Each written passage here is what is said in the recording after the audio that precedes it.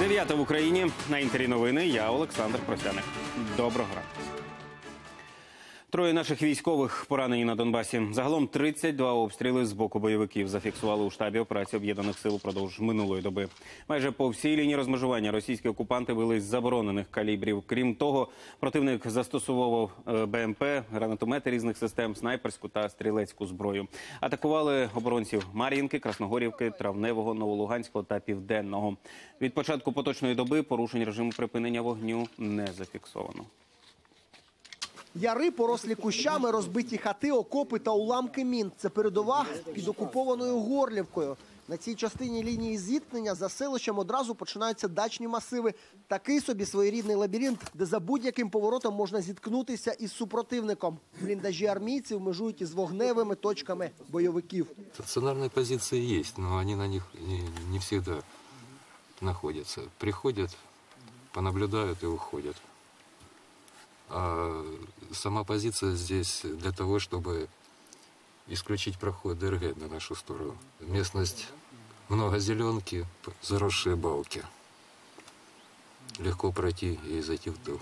Військові розповідають, інтенсивність бойових дій тут висока, стріляють щодоби, подекуди із важкого озброєння.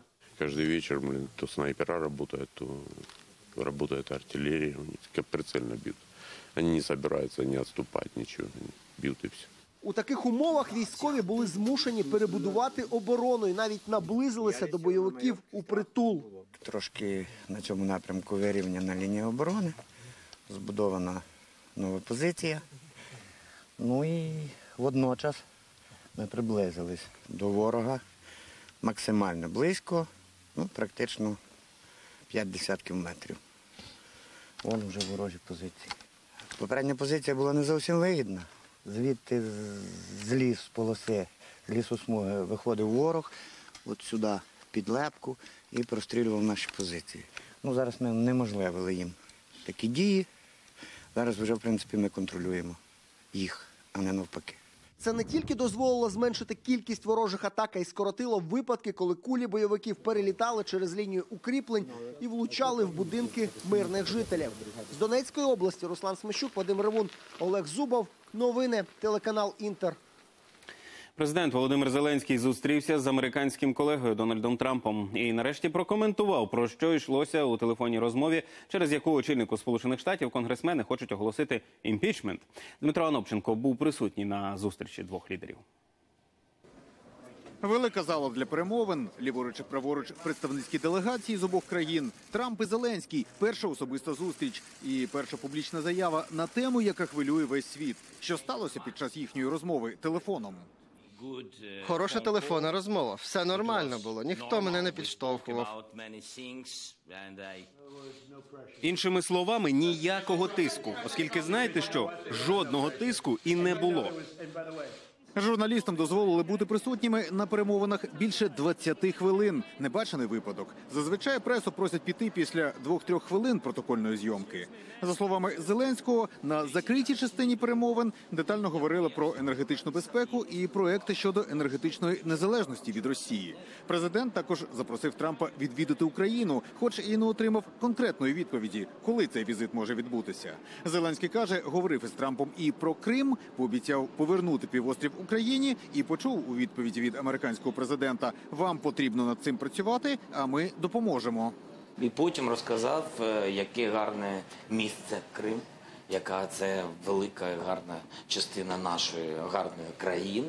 І мені здається, ну я це почув, що він так згоден, що це наша, наша рідна земля, і що ми будемо її повертати. Вийшовши з будівлі по закінченні переговорів, Зеленський посміхався і виглядав задоволеним першою особистою зустріччю. Найкраща зустріч з усіх. В сенсі це були чудові перемовини, і ми повністю відчули підтримку США. Задоволеним словами Зеленського залишився і Трамп. Він процитував українського президента. Ніхто мене не підштовхував і використав цю заяву як доказ, що й імпічмент йому оголошувати нема за що. Якщо тиску не було, і українці ж це і визнають. Полювання на відьом продовжується, але вони помішані вже на цьому. Адже якщо подивитися на інформацію, це ж просто жарт. Імпічмент за це Втім, таке пояснення задовольнить прихильників Трампа, але точно не задовольнить конгресменів, які прагнуть не допустити його переобрання. І палата представників точно не заспокоїться, поки їм не вистачає лише восьми голосів із 218 потрібних, аби розпочати процедуру імпічмента. Тож американський скандал навколо Трампа триватиме, але, хоча б в українському кейсі, який став формальним приводом для дій демократів, з'явилася ясність. Що стосується програми Володимира Зеленського, то четвер останній четвертий день його американського візиту. В програмі розмова із бізнесом і двосторонні зустрічі. Вночі цього дня українська делегація вилетить до Києва. Із Нью-Йорка Дмитро Ановченко, Сергій Коваль, американське бюро телеканалу Інтер. Міжнародний валютний фонд отримав нову директорку. Його очолила болгарська економістка Кристаліна Георгієва. Вона заступить на посаду 1 жовтня.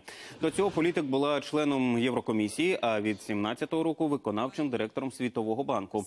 Попередня очільниця МВФ Крістін Лагард склала повноваження після того, як її висунули на посаду голови Європейського центробанку. Темпи глобального економічного зростання не тішать. Зберігається напруження в торгівлі, зростають борги у багатьох країнах. У цих умовах мій безпосередній пріоритет для МВФ допомогти державам-членам мінімізувати ймовірність кризи і підготуватися, якщо вона виникне. Українські правоохоронці ініціюють встановлення камер відеоспостереження на аварійній ділянці дороги Одеса-Овідіополь, де 21 вересня внаслідок зіткнення вантажівки і маршрутки загинули дев'ятеро осіб. Загалом від початку року в Україні сталося понад 100 тисяч аварій. Про це повідомляє прес-служба патрульної поліції. Загинули майже 2 тисячі людей. Ще понад 20 тисяч зазнали травм. Тож правоохоронці закликають дотримуватися правил дорожнього руху і застерігають від необережного керування автівками. На Закарпатті силовики напередодні влаштували масові обшуки і провели кілька затримань. Що саме відбулося, спробували з'ясувати наші кореспонденти. До Закарпатської області прилетіли кілька сотень спецпризначенців. Очевидці повідомляли про численні обшуки в Ужгороді, Мукачеві та Хусті. Місцеві правоохоронці спецоперацію не коментують. Кажуть, то робота столичних колег.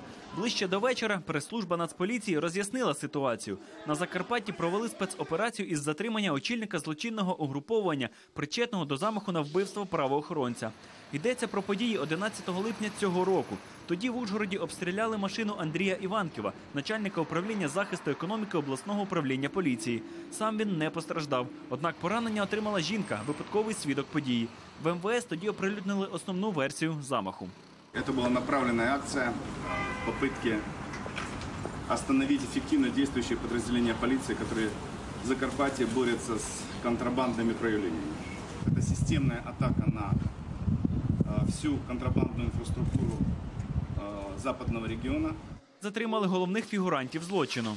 Організатором цієї групи виявився 38-річний мешканець Ужгорода, колишній працівник міліції Закарпатської, звільнений в 2014 році з лав ОВС за дружні тісні зв'язки з кримінальним світом регіону. Під його е, керуванням учасники цієї групи діяли як спортивна організація, яка насправді займалася виконанням замовних брудних справ. Йдеться про так звані сітки, які забезпечували перевагу на виборах деяким кандидатам в народні депутати. Затримали очільника банди та виконавця замаху. На їхній слід допомогли вийти свідки. Були знайдені і речові докази. На дні річки Уж було виявлено знаряддя злочину. Це пістолет, кулемет марки Скорпіон калібром 7,65 з маркуванням. На березі річки знайшли е, предмети одягу, які викинув виконавець злочину під час відходу. Загалом правоохоронці провели 60 обшуків. Знайшли готівку, пістолети, рушницю та запаси, що підтверджують злочинну діяльність. Затриманих доставили до Києва. Їм оголошені підозри. Андрій Кравець, Мар'яна Мартин, Юрій Ковальов, телеканал Інтер, Закарпатська область. У Києві військомати розшукують 35 тисяч юнаків, які ухиляються від армії. Саме стільки справ вже передали до поліції. Там відкрили аж чотири кримінальні провадження. А вже наступного вівторка розпочинається черговий призов строковиків, який триватиме три місяці. Лави ЗСУ і МВС мають поповнити понад 15 тисяч новобранців. До служби в районі операції об'єднаних сил їх не залучатимуть.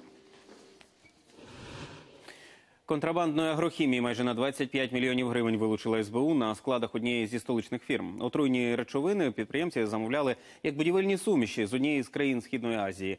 У Києві все пакували як продукцію відомих світових брендів і надсилали в усі регіони України. Під час трусу правоохоронці знайшли 48 тонн отрути. Двом ділкам уже оголосили підозру. Решту причетних до бізнесу, що міг нашкодити довкіллю, встановлює поліція.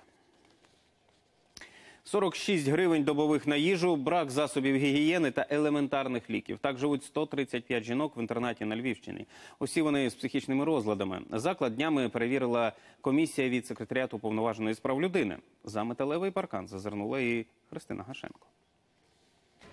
За металевим парканом Судовишнянського психоневрологічного інтернату прогулянковий дворик. Там відпочивають хворі, частина з них в інвалідних візках.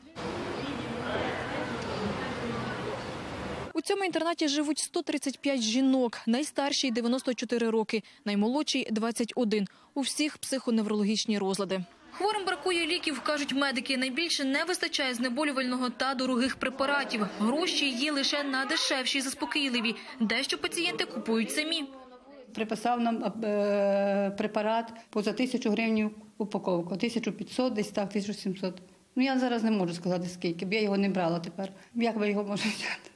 За мало коштів навіть на харчі розповідають кухарі. На 46 гривень тут готують чотири прийоми їжі. Деякі продукти хворі закуповують самостійно. На руки жінки отримують у середньому по 500 гривень. Паштетну ліверну купляємо. Та собі канапки робимо. Економити доводиться навіть на підгузках. Мало би бути чотири підгузники, ми, ми мали би да- заміняти на добу. Оскільки в тому році гарне літо, то ми трохи економимо. Ми е, беремо, підкладаємо судно. У Львівській облдержадміністрації кажуть, прохань збільшити фінансування до них не надходило. Кожний запад має свого директора.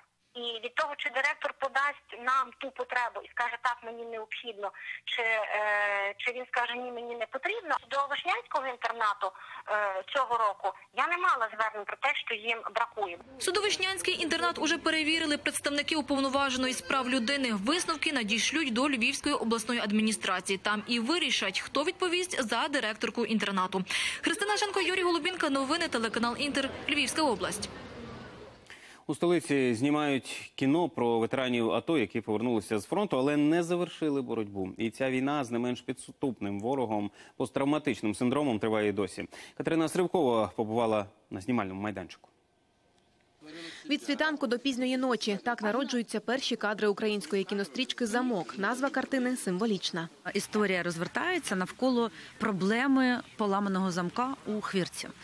Боєць повертається з фронту, а в його таунхаусі, спільному будинку на чотири хазяїни. Отака проблема. Казус.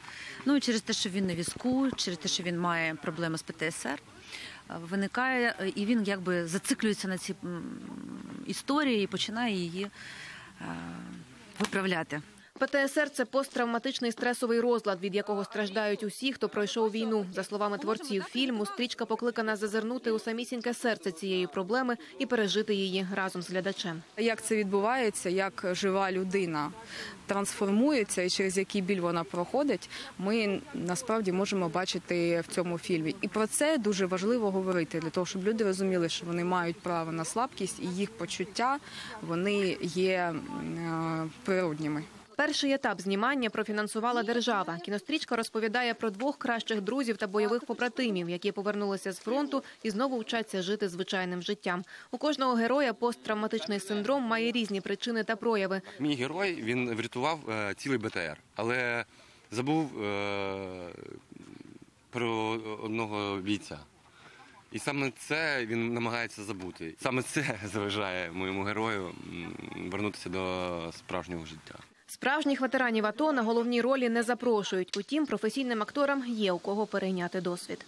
У мене брат воював, у мене є дуже багато знайомих, які на фронті. Фільм про те, що дружба і любов дасть надію тим, хто втратив е, якийсь сенс життя, хто втратив інтерес до життя. Фільм обов'язково буде з позитивним фіналом. Тизер, який наразі знімають, можна буде побачити майже за місяць. Потім почнуть працювати над повним фільмом. На екрани картина вийде приблизно за два роки. Катерина Сривкова, Геннадія Нікієнко. Новини телеканал Інтер. У російському Барнаулі пасажирський літак здійснив аварійну посадку. По медичну допомогу звернулися 49 людей, п'ятьох ушпиталили. Відомо, що Боїнг 767 мав рейси з В'єтнаму. Попередньо під час приземлення зайнялося шасі. На облавку перебували 334 подорожувальники та 10 членів екіпажу. США розмістять танковий батальйон у Литві на кордоні з Білоруссю. До України прибуде близько пів тисячі американських вояків, а також е, понад 100 одиниць техніки. У Міноборони держави наголосили, досі Литва приймала армійців зі Сполучених Штатів на вишкіл. Нині йдеться про тривале розгортання військ союзника із НАТО. Повна шафа, але нема що вдягнути. Як вирішити сакраментальне жіноче питання, придумала молода французька дизайнерка і заснувала у Парижі цілком успішний стартап. У чому особливість цього сервісу знає Ольга Жидецька. Дошкульна пляма, застарілий фасон чи замалий розмір. Що робити з непотрібними речами, які заполоняють шафи багатьох жінок? Придумали в невеличкому французькому ательє. Тут зі смаком та любов'ю дають нове життя безнадійним, здавалося б, светрам, брюкам та сукням. А почався цей перспективний стартап із дилеми. Його майбутню засновницю за рік запросили відразу на вісім весіль. Я подумала, це дурниця купувати в крамниці стільки суконь, які я вдягну лише раз на рік. Та це мені не по кишені, тож я взяла всі сукні з шафи, які в мене назбиралися за останні 10-15 років, і залюбки їх переінакшила.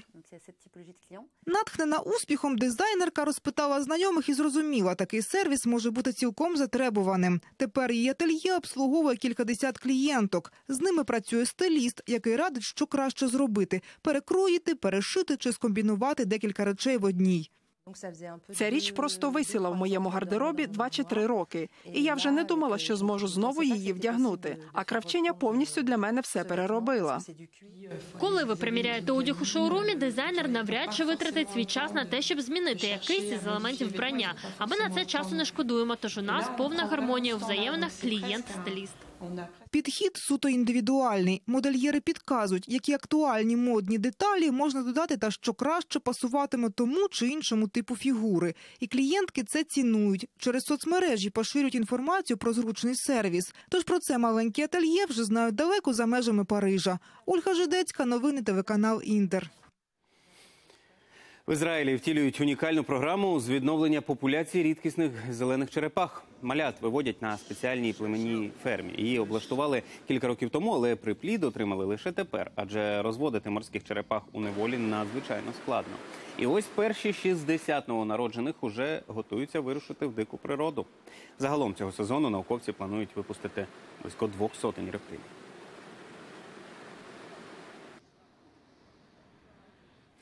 Як розвиватимуться події, дивіться вже у випуску о півдні. Ну а в мене поки що все. Гарного вам дня і до зустрічі завтра зранку.